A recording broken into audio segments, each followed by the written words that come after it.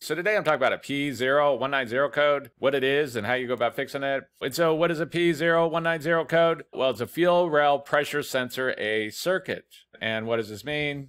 Well, there's a sensor attached to the fuel rail that basically just monitors the fuel pressure and reports this information back to the computer. And when you get a P0190 code, the sensor's voltage that it's reporting back to the computer is gone outside the range that it's supposed to be in. And so the computer's seeing some kind of issue with it. And so it's going to, be troubleshooting why. So what are some possible causes of a P0190 code? Well, the first thing that could cause this is that that fuel rail pressure sensor's just gone bad and it just needs to be replaced. You can't test it if you want to. There's some good YouTube videos on how you go about testing these. But the first thing that could cause this is a bad fuel rail pressure sensor. The next thing that could cause this is the wiring going to the fuel rail pressure sensor. If there's any kind of issue inside the wiring, like an open, short, there's some kind of bad connection going on, then it's going to cause the same symptoms as a bad sensor. The wiring is going to be different depending on the vehicle, the year, the make, different things like this. So you will need to get a schematic for your particular vehicle to know for sure what's going on inside the wiring. But the next thing that could cause this is that there's some kind of issue going on inside the wiring going to the fuel rail pressure sensor. And the next thing that could cause this is that there's some kind of issue going on inside the fuel system,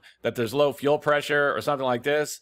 And this is going to be caused by one of the components inside the fuel system, like a bad fuel pressure regulator or a weak fuel pump or a clogged up fuel filter or something like that. And so while you can't go through and test each one of these components, there is a quick method to check to see if there is a fuel system problem by basically using a fuel pressure gauge and checking to see what the fuel pressure is. And basically to use one of these, you attach it to the fuel rail. There's usually a test port that you can attach to it could vary depending on the vehicle, but there's usually a fuel pressure test port up on top of the fuel rail that you can attach a fuel pressure gauge to. And then what you do is you start up the engine and you check to see what the fuel pressure is. It can vary from vehicle to vehicle what the fuel pressure is supposed to be rated to be running at. So you will need to look up what your vehicle's fuel pressure is rated to be running at. So, for example, say your vehicle is rated to be running at 55 psi, but for some reason it's running at like 40 or something like that, then you're going to know you got low fuel pressure for some reason and you have to go through and check all those components that are related to that. And this would be something along the lines of like a weak fuel pump, a clogged up fuel filter, or a bad fuel pressure regulator, or something along these lines. But the last thing on the list is going to be that there's some kind of fuel system problem